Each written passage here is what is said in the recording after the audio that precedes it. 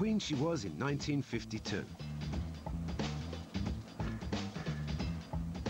First up, Claire gets a crash course in floor laying. Got a very steady hand for this job. I should have been out in the sauce last night. oh, that's almost Yeah, that's professional. Then there's a few dozen windows to put in. Each with its own authentically squeaky 1950s winding mechanism. Go on, give it a whiz. Yeah? Okay. I'll hang on to it.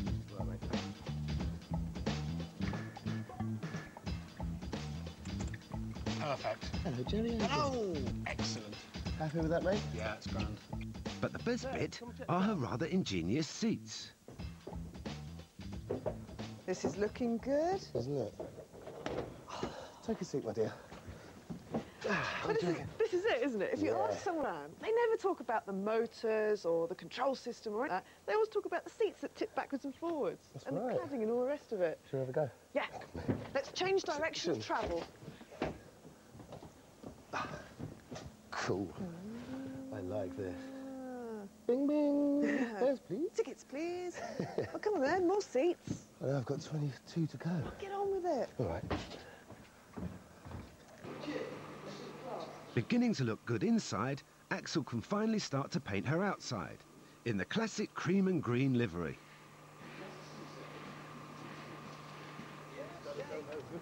After nearly six months' work, the tram is almost finished, and the squad are walking into the sheds for some last-minute tarting on the morning of her inaugural run. And as the electricity sparks her into life, we can see what a brilliant job everyone's done.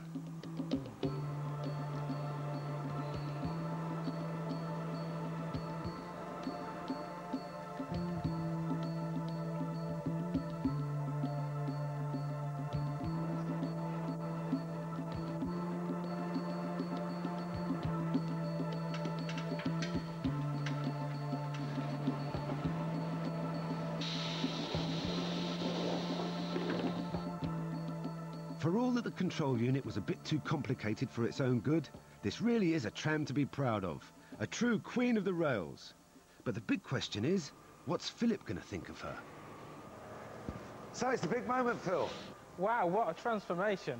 You haven't seen it for a while, eh? No, And hopefully you're going to drive it now. let me at it. Hi guys, Hello, mate. what a fabulous job. It looks absolutely superb. You like really it, then? does. Oh yeah. Is that yeah. good, mate? I might keep it. You can keep your thieving hands up. Can I have a look inside? Wow, it looks superb. It's all come together. You happy? I've never seen it like that. You've even got the original red flooring. That's great. That's super. Beautiful, guys. You've done a great job. Looks like a ballroom, doesn't it? I feel like dancing. Anyone want to dance? It's large enough, isn't it? what you need now is a show, someone to drive it, yeah? Well, the tram's finished, and in a few minutes we're going to get going. But I've noticed that Phil is wearing a very smart tram driver's uniform, so I think I'd better smarten myself up.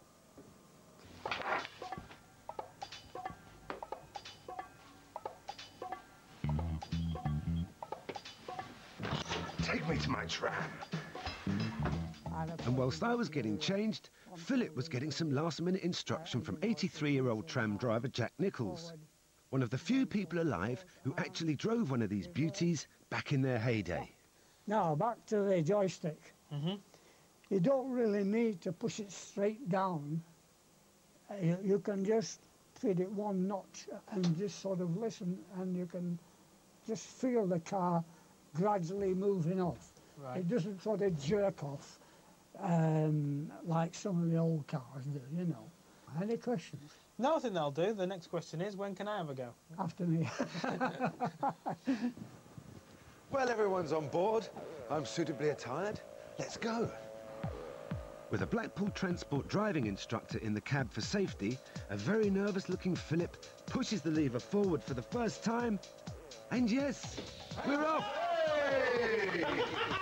Looks like all the stuff works. Shush, shush, shush. Don't tempt fate. it's smooth. It is smooth. I can't believe it's working. No.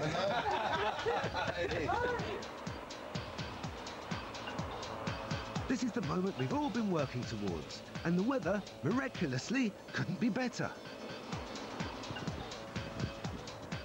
Just got to change the point so we're going into the sea. Insert like so and...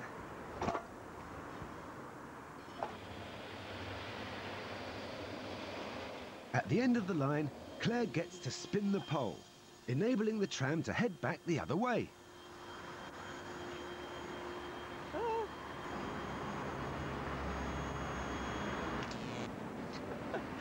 You see that? It went on first time. And as we head back down the prom, Philip is in his element. This is absolutely fabulous. I never thought I would actually uh, drive this tram up and down Blackpool Promenade, never. This is really good. It was a huge project to tackle, but loads of people put a huge amount of effort in. It's all paying off. We've got a beautiful sunny day, trundling up and down the seafront. It's not a bad life.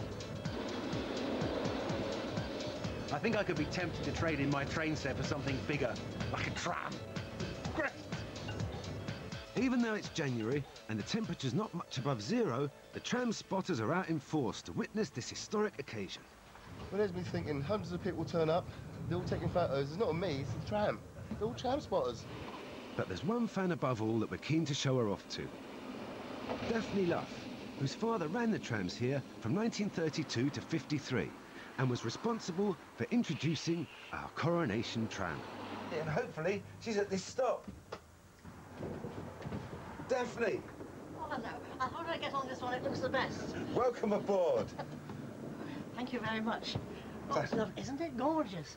How does it feel to see Oh, it? yes, it's wonderful. Oh, I'm- I'm sure my father will be thrilled to pieces to see it now. After all these years, 50 years, it's a long time, but it really looks good. Yeah, you're pleased with it? Coming along the promenade, you know, watching it come along, it was wonderful. In the sunshine, isn't it Oh, beautiful? yes, it is absolutely marvellous. Oh, I'm thrilled to pieces with it, yes. looks very good indeed. He'd have been thrilled to bits. Her control unit may have been a disaster, but this beautiful folly and the man behind it, Walter Luff, can take credit for the part they played in making sure the trams of Blackpool are still running today. And for that alone, she was well worth restoring. We've now got a working tram. Um, only a few months ago, when uh, when the tram left St Helens, we had what was basically um, not a, I suppose, a, a rotting carcass. I think someone described it as. You know, to actually get the tram mobile, to get it back to its native habitat, um, running up and down. That, this is superb. With Philip getting into his stride, it was time to give the spotters a treat. A ride on the only fully working coronation tram in the world. Come on then, you little on you get. It's a free one. Plenty of room down the back. It's